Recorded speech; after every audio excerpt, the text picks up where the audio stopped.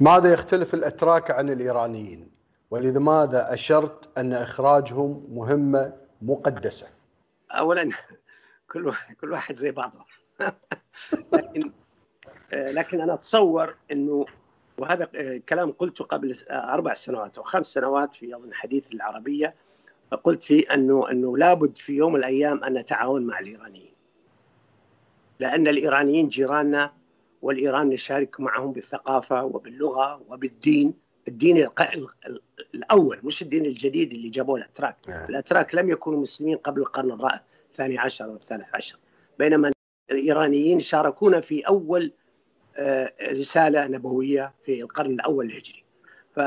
ومنهم الأدباء ومنهم العلماء ومنهم بس المهم يحسنوا سلوكهم. يتخلوا عن هالخرافات اللي مختزنة في رؤوسهم.